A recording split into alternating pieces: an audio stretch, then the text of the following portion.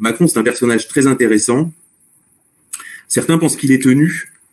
Moi, je pense pas qu'il soit tenu. Je pense qu'il est partie prenante au plus haut niveau de cet agenda de destruction de la France. Il s'en cache pas. La France doit être dissous dans l'Europe et dans euh, dans l'Afrique. Il veut dissoudre la France. vraiment, c'est c'est c'est le discours de Marseille qui est réapparu euh, ces derniers jours sur les réseaux sociaux. Pourquoi je dis qu'il est partie prenante au plus haut niveau? Ben D'abord, c'est Klaus Schwab qui nous l'a dit.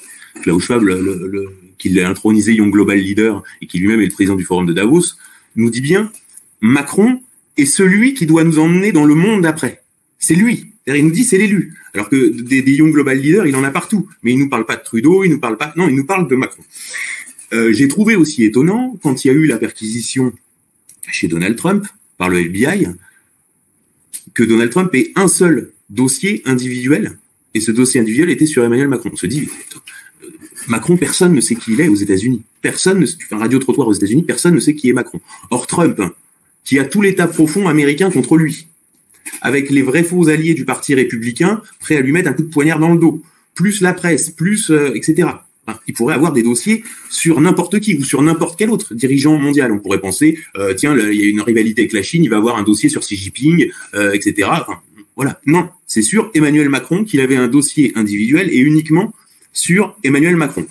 Et tout le monde ressent qu'Emmanuel Macron est euh, tout à la fois l'instrument et partie prenante et l'apothéose de cette destruction, à tel point qu'un universitaire qui s'appelle Gaël Giraud, qui avait très bonne presse, dont on nous expliquait que c'était le nouveau génie de l'économie, il a fait une interview sur euh, la chaîne YouTube Thinkerview en expliquant que euh, Macron était l'instrument des Rothschild, d'une vengeance des Rothschild pour accomplir une destruction de la France eh bien, le type a été cancellé. C'est-à-dire qu'il a disparu, toute sa vie a été épluchée. Aujourd'hui, il est réfugié à l'étranger, toute sa vie a été épluchée. il y a eu une campagne de presse avec un, énorme article dans le monde le détruisant définitivement. Le type a été cancellé. Là, je suis, euh, on, voit aussi euh, d'autres, personnages qui ont osé aller sur ce terrain-là, euh, comme Jean-Philippe Tanguy. Lui, c'est un autre truc. Il a été retourné. C'est-à-dire qu'ensuite, il a fait une, alors que lui venait d'Alstom, donc lui avait vécu la destruction d'Alstom, qui est en fait comment Macron a vendu l'indépendance énergétique de la France. Enfin, c'est pas rien. Faut quand même comprendre que l'affaire Alstom, vous prenez dans n'importe quel autre pays, des États-Unis à la Chine en passant par la Russie, Israël ou l'Algérie, le type qui a fait ça est fusillé, est arrêté et fusillé pour haute trahison.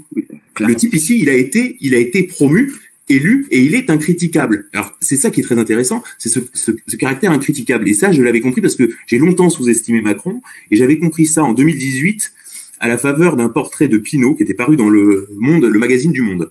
Et dans ce portrait, Pinault disait euh, oui, de toute façon, Macron ne comprend rien au peuple.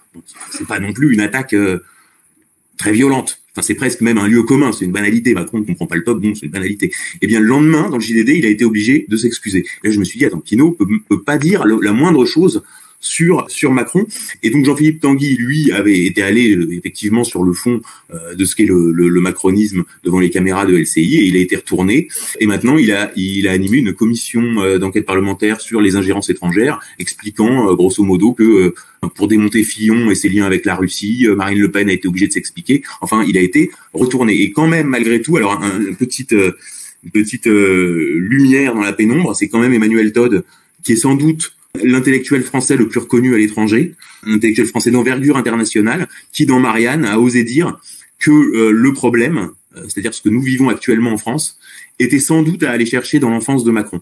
Et là, euh, je dois dire que moi, je l'ai pris pour une victoire parce que quand je disais ça, soit en privé, puis après quand je l'ai écrit en, dans fait des documents, les gens me prenaient pour un fou. Or aujourd'hui, bah, c'est une idée, voilà, c'est ça que sert une lettre confidentielle d'information, c'est avancer une idée qui euh, ensuite va prendre et, euh, et euh, deux ans après, eh bien, on a Emmanuel Todd qui dit noir sur blanc dans Marianne, le problème est sans doute à aller chercher du côté de l'enfance de Macron. Donc voilà.